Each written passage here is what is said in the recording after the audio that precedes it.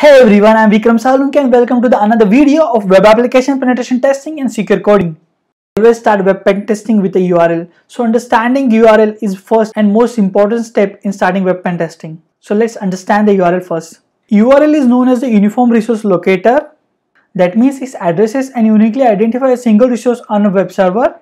Let's look at the URL structure first. This is the structure of a URL. Let's analyze one by one. First there is a protocol, then there is a user and password, then there is an address, after that there is a port, then there is a resource, then there is a query and then there is a fragment. This is a structure of a URL. First is a protocol. Protocol means we are using HTTP or HTTPS. Now what is the difference between HTTP and HTTPS? I'll make a separate video about it. And if there is some username and password required for the particular web server, then there is an address so address can be a domain name or IP address. Domain name such as a google.com or IP address such as 192.168.1.1. Then there is a port.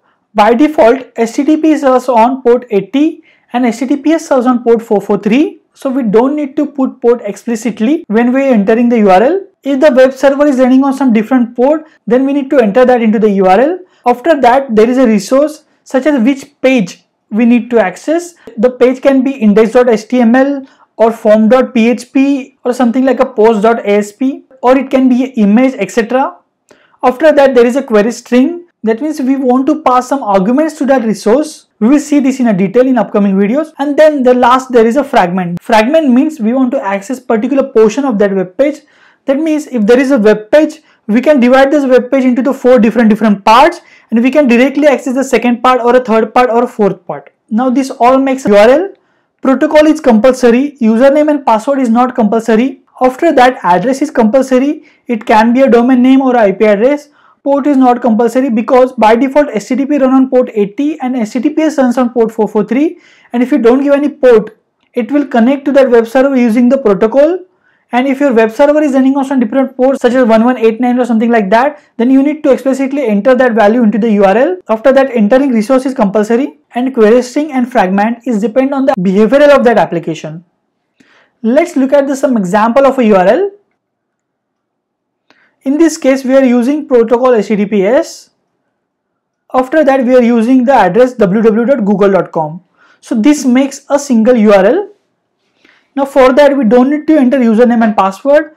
Port is by default 443 we'll use because we are using HTTPS and we don't need to give resource, query string and fragment and if we don't give any resource it will go and fetch the home page which might be on index.html or index.php etc. Let's look at a second example. We'll take the protocol HTTP. Now in this case we are using the IP address 192.168.80.11 and this is also a part of a URL. Let's look at the another example we are using the protocol HTTP. Now this URL requires username and password and when we enter that then only we can access that resource and we are connecting to the address 192.168.80.8. So this is also a form of a URL. In this case the protocol was HTTP and we are passing username password and the address is IP address. Let's look at another example. Protocol we are using HTTP. After that we are using IP address and now that web server is running on some different port such as 8080 so we need to write that port into the URL. Let's look at some other example. Protocol is HTTP. After that the address is example.com. Now in this case we are using the domain name and now we are accessing the resource index.html. Let's look at some another example. Protocol is HTTP.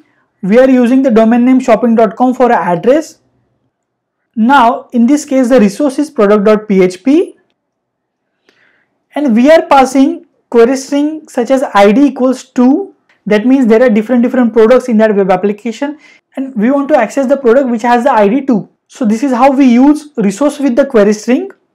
Let's look at final example of a URL. Protocol is HTTP. After that we are using information.com as a domain. Resource is index.php and in this case the fragment is 4 that means index.php on information.com has been divided into the four different different section and we want to access the last and fourth section of that web application. That's it for this video. In this video we saw different different examples of a url I hope you have a clear understanding of everything. If you have any doubts, any feedbacks, you can tweet me at Vikram 20 or you can mail me on vikram at Thank you.